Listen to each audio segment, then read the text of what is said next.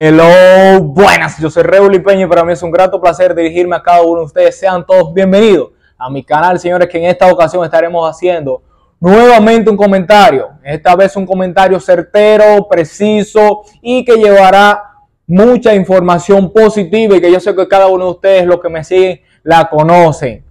Y es que en una entrevista, un match shot ahí que hubo entre Santiago Matías Alofoque y el comediante popular, actor, un hombre sumamente talentoso que tiene una jocosidad natural, que, desde que usted lo ve comienza a reírse, y nada más y nada menos que Fausto Mata, señores. Fausto Mata se ha dado la tarea últimamente, ya luego de tomar mucha popularidad, ya luego de ser un referente en los medios, eh, señores, en, esta gran industria del entretenimiento, en esta gran industria de que la persona desde que toma un poco de fama, piensa como que tiene ya la, potestad de, todo lo que diga es así. Y fíjense que hay que ser muy, muy, muy, muy preciso a la hora de usted meter un comentario. No ande con rodeo, para nada. Y la verdad que ya luego cuando usted toma popularidad, que tiene larga data, una carrera admirable eh, en la industria de, del entretenimiento, la comedia, en el cine, que ha sido un actor sumamente exitoso, una de las figuras locales, señores, que ha trascendido a nivel internacional con mayor arrastre, tanto en Puerto Rico, Guatemala, Argentina, El Salvador, Costa Rica, es Fautomate, señores.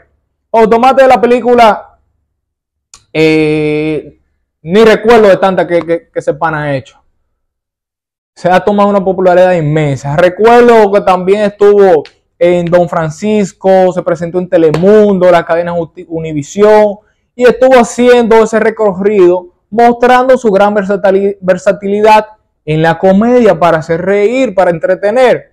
Y ya luego lo hemos visto en la pantalla grande, que el tipo es una superestrella.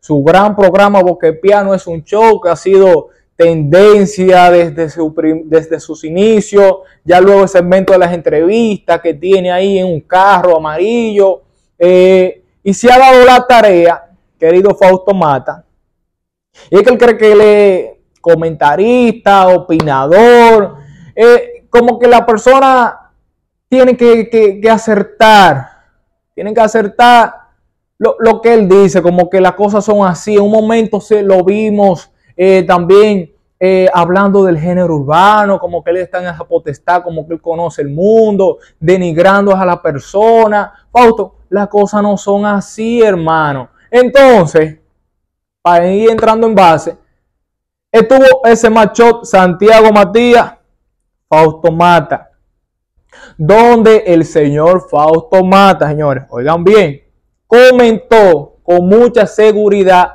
de que en las escuelas no no se debe impartir las matemáticas. ¿Qué pasa, Fausto? Tú eres un tipo que muestra ser inteligente. ¿Cómo que las matemáticas no se deben impartir en las escuelas, hermano? ¿Qué pasó ahí, eh?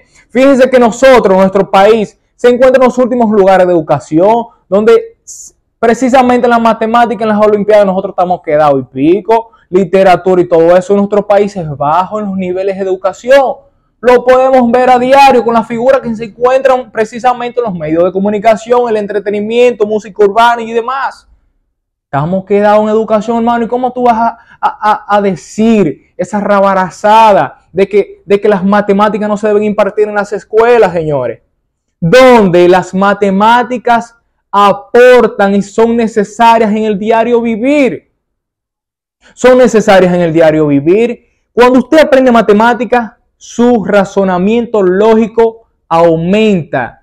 Las matemáticas aportan mucho en razonamiento lógico y crítico del ser humano, que te ayudan a ti a pensar con fundamentos y a ser preciso y que tus resultados se vean eh, positivos, a tener seguridad eh, a la hora de, de cualquier problema. Te ayudan, es tanto así que recuerdo yo haber estado en problemas matemáticos en cualquier examen o ya en la prueba nacional que viene siendo la parte, la, parte más complicada donde uno se presiona cualquier examen a trabajar bajo presión y uno saca de abajo.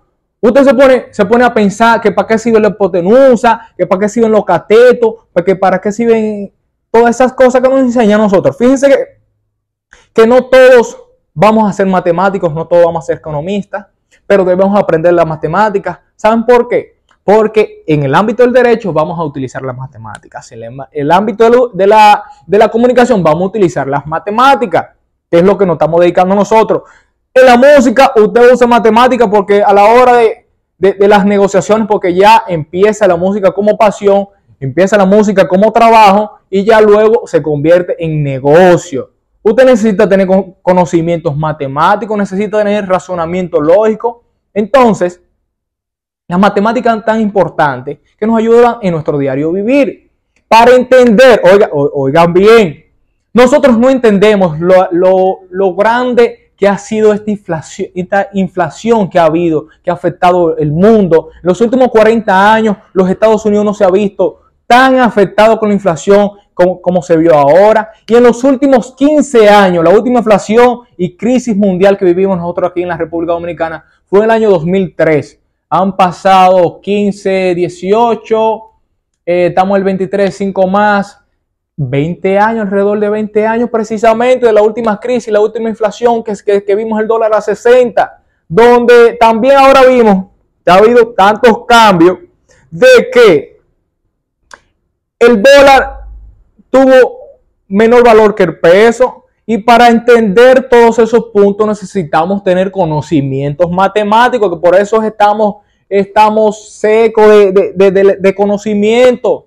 Estamos ignorantes y por eso uno se pregunta muchas cosas y es que no, conoce, no conocemos de la matemática, no conocemos de la economía, no conocemos de los números y no vamos a entender eso. Entonces lo que diga cualquier fulano lo vamos a dar como verídico. Fausto, no vuelva con una rabarazada así, que tú eres un tipo que mucha gente te sigue, mucha gente te sigue. Entonces nosotros tenemos la mala costumbre de que tomamos un poquito de popularidad, queremos decir cualquier cosa frente a las cámaras sin tener presente que ya luego que usted se convierte en una figura relevante, una figura conocida, su palabra toma peso. Fue Fausto Mata que lo dijo, fue fulano de tal que lo dijo.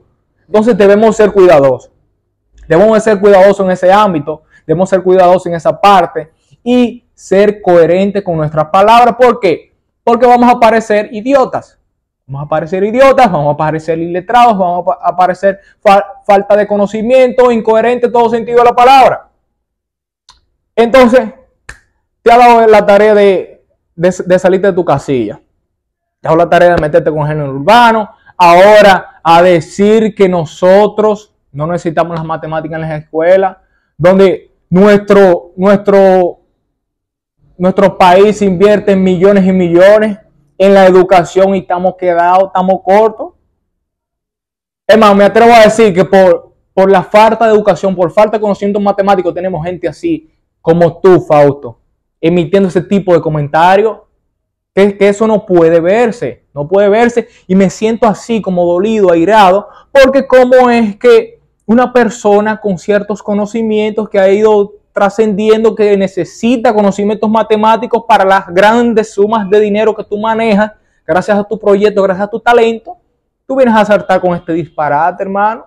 ¿Qué pasa ahí? Pusiste un huevo demasiado grande.